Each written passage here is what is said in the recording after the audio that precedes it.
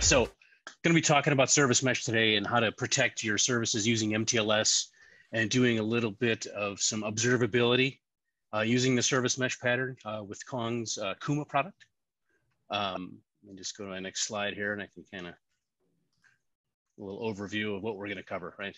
Using MTLS policy to encrypt and secure a service, uh, controlling traffic using our traffic permission policy. So once the once the policy is uh, in place and your traffic secure, I want to be able to control at a granular level, you know, which service inside of, of the mesh is allowed to talk to each other. And then finally, some observability and tracing to some APM uh, uh, process management inside of GCP, integrating uh, Kuma with Stackdriver. Okay, so those are the slides pretty much that's gonna, we're gonna go over today. I'm gonna go into actual software here. Let me quit that. Um, so the first thing I want to kind of show is the uh, Kuma, Kuma service mesh use. Oh, one more. Sorry about that. So right here we're running um, uh, Kubernetes uh, in GCP, uh, running Kuma, and so I wanted to show you a little bit of the, the Kuma UI here, just to kind of show you what, Cool. There we go. Skip the dashboard. All right. So what we have here is the Kuma dashboard that shows you, you know, overall, you know, the configuration of the mesh, um, and then all of the data planes inside the mesh. So here's all the, you know, all of our different applications. Um, there's some Spring Boot applications in here. There's some Python applications, and they're all talking um, uh, via Envoy sidecars, right? The service mesh pattern indicates that you know a sidecar for every application inside the mesh is indicated here. If I go to my namespace, you'll see that we have all of my applications. We're using Kong as an ingress into the Kubernetes gateway, which then the requests get um, stamped with a, using some Kong plugins with a correlation ID, which allows us to do tracing. And these are the, this is the web application here, which talks to a, a RESTful API, which in turn talks to a database. Okay, so the first thing we want to look at is some MTLS, right? So what's the use case? So we have these applications that are talking to a database, and we want to um, essentially lock that, uh, you know, secure that, so anyone within the organization can, you know, cannot talk to that database using, you know, like SQL commands, things like that. So, so lock that down. So that's what I'm going to demonstrate here. Um, if I go into my, you'll notice change one thing. Okay, so if I go, I have here, what I have is a, a, a container that just shows you a, uh, a, SQL prompt. I think uh, Google's acting a little slow right now. There we go. It's just quit on me. All right.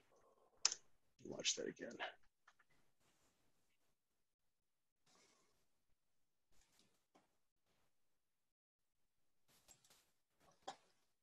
Pardon me.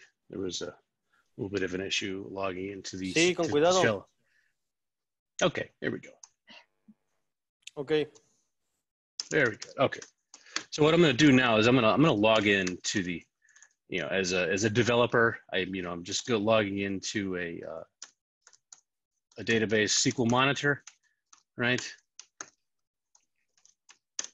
And as I just type in my password and then do a select star from crew, right? So I have access to this database, right? So if I'm a developer, I you know I use that to select all my data.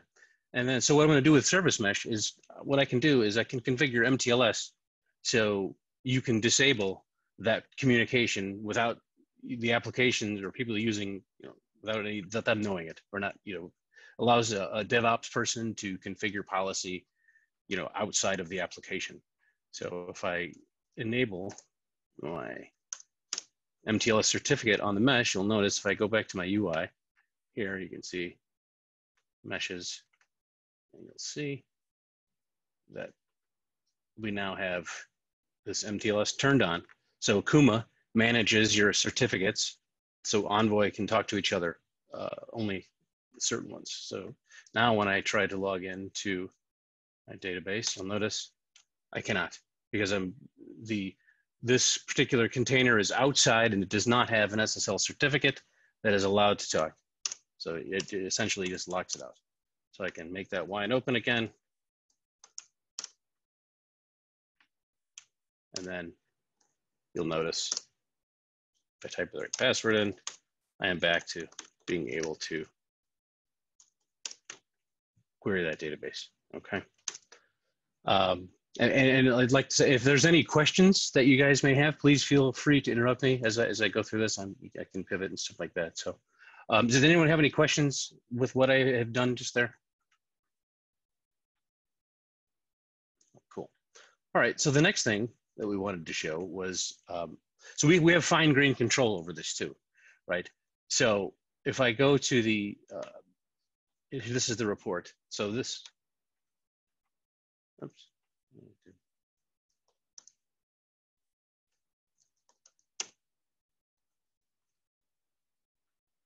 we go. All right.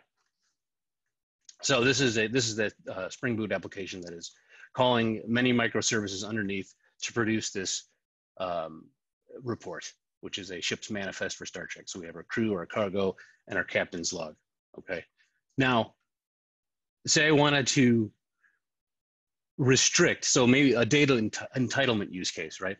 I wanted to control, you know, each individual microservice, you know, con uh, granularly controlling which one. So I can, by applying a policy, I can control traffic permissions to which containers want to see, uh, have access to each um, other microservice. So I can remove this captain's log um, call from the application by just applying a policy. So I can just say captain's log off and sh or on. Uh, what is it?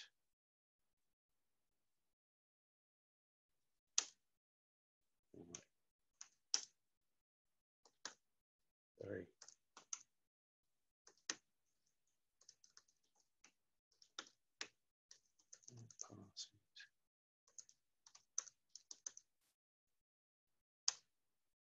Okay. Cool. So now when I select, I'm going to delete that policy is what I want to do.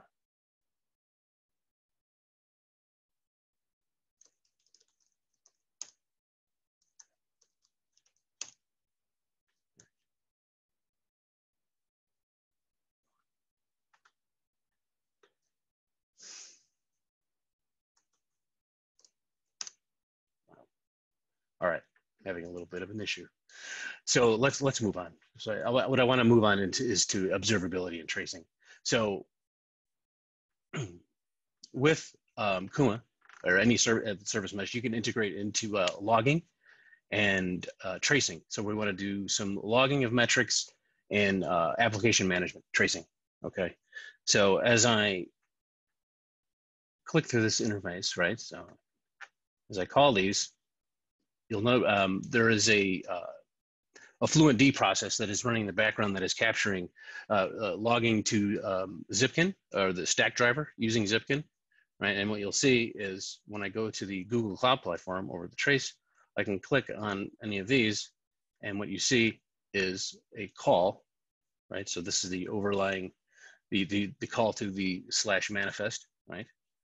And then each individual call microservice underneath gives you, so this call took 25 milliseconds, this call to um, cargo, right, took 33 milliseconds, and this call to crew took 150 milliseconds. So this enables, um, you know, DevOps engineers or application developers to really, um, you know, analyze a distributed trace. And then another um, piece of the puzzle here is there's, uh, we're using Kong at the ingress level to um, using a correlation ID plugin that stamps each individual request coming in with a unique identifier. So we can now correlate um, the trace with the logging. So if you have application level logs that are logging, um, you know, different, you know, um, anything that an application uh, for, for doing troubleshooting of your applications, if I can look at standard out, I'm going to add that. And then I can search the text payload for that particular UUID. And if I run that query, I can then filter down. Oh, look, I see that that particular call responds to four different requests inside, and then you know whatever application level there's some JSON um, that you can see, and it gives you know developers or uh, you know uh, DevOps personnel you know indications of what you know debugging problems within an application, you know latency information, you know problems, application level errors. So logging combined with stack tracing is a, is a very invaluable tool uh, for doing this type of thing. Um, so here, um, I would like to, you know, any questions on uh, on this? Yeah, this is where the discussion, little discussion could happen.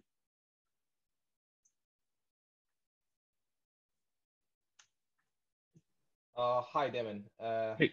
I have a, I have a question in regards yes. to uh, you mentioned that FluentD would uh, you know push these tracing logs to Stackdriver using Zipkin, right? Yes. Uh, I just wanted to have a look how that's uh, configured. Uh, just Yeah. a, a quick overview. Yeah, cheers, thanks. Yeah, yeah. So the nice thing about um, GCP um, is what it, it comes with FluentD uh, already loaded. And what happens if I go to, so there is a, go to my namespaces. If I go into the kube-system, uh, what, what GCP has done is they've given us a FluentD GCP um, containers. So when you launch that container, what happens, it's pre-configured to um, ingest all of the standard out from every container. So as you launch containers, that standard out automatically gets um, um, consumed or you know ingested by the, the Google Fluent D process, and then in Kuma, what you do is you apply a policy. Okay, so I'll show you the Kuma um, policy. So if you go to meshes, I'm going to data plane, no meshes, and I want to go to over, where is it? Traffic trace.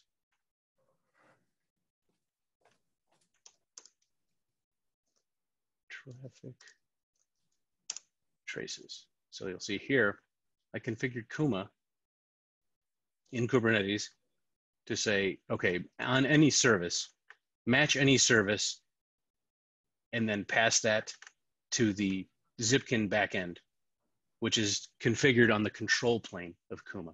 So if I go to the control plane and burn meshes, you'll see that here's the tracing backend. So the default backend is my Zipkin, and here's how where that's configured. So whenever we want to do a trace, post to trace.sekuma. You know, this is the URL right here. That's the uh, where uh, Zipkin is running. So the, the Kuma policy automatically tacks on all of the open trace, you know, the B3 trace headers onto the request, and will forward, you know, uh, post that, you know, into that this particular URL, which corresponds right here. Let's see, Kuma trace right there, and this is the Zipkin server running within the Kubernetes cluster. Does that make sense, Avinash? Yes. Um, I was just curious on, uh, you mentioned Kuma control plane, right? Uh, Yes. As we talk about Istio service mesh, Istio service mesh also comes along with the control plane, uh, Yes. right? Yes, Uh, correct. How how different is Kuma from the Istio service mesh control plane? Obviously, uh, the Zipkin and the other critical components like the Galley. Yeah, yeah, Pilot, standard egg. stuff. Yeah, Sure. Yeah, is, is it Um, is it is it more or less the same, or is it any different? I- you know, under the hoods. So the difference to me, so under the hoods, right? So, so Istio and Kuma, Kuma are, are Envoy under the hoods, right? So I think the difference involves, to, in my mind, is is more of a simplicity thing, right? So Kuma is turnkey. One one of the, the differences, say, is the ability to support multi-tenancy, okay, in a single control plane.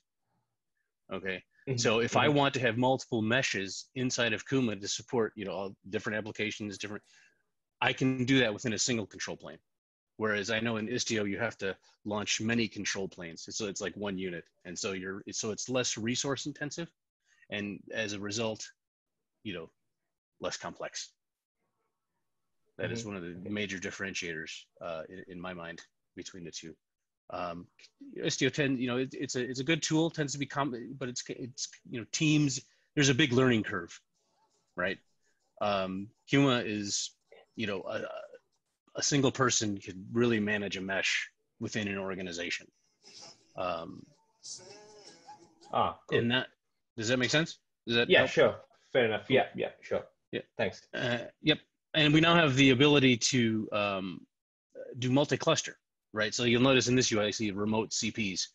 So uh, we can now, with Kuma as of 0.6, we can have a single mesh that spans network boundaries.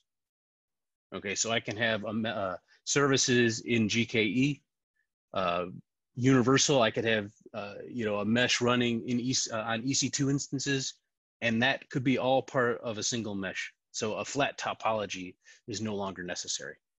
And we accomplish that by we using a, we have a global control plane and local or remote control planes.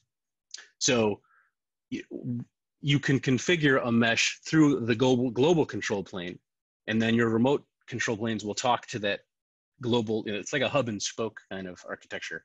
And then once all of the remote um, control planes are configured, then all of the um, the services within the mesh they only know about their own local remote control plane, and that that um, communication and everything is handled for you, and everything is cached. So if the global control plane goes down, it, it doesn't really matter.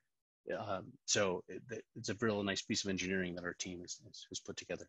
Um, ap- apologies, I may have missed it. Is this specific demo um, uh, available somewhere? Um, uh, meaning uh, the actually the actual uh, the code and stuff to set it up inside of. Correct. Yeah. Um, yeah, I mean, I am more than happy to share that. It's currently it's it's in a uh, GitHub repository, but I'd be more than willing to uh, to to make that a public public available thing, and you guys could try it out and Excellent. do all that. Thank you. Yeah. Mhm.